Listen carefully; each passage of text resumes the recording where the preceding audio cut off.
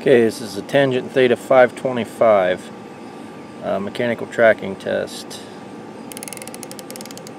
There's two, four,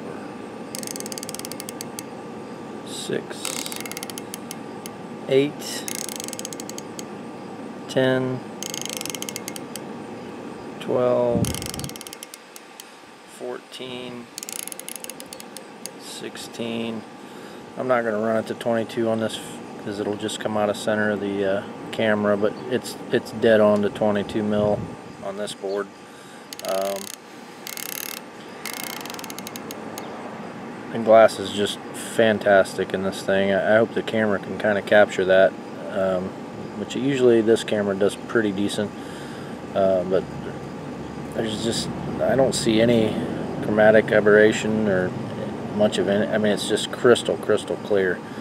Um, the turrets are very positive.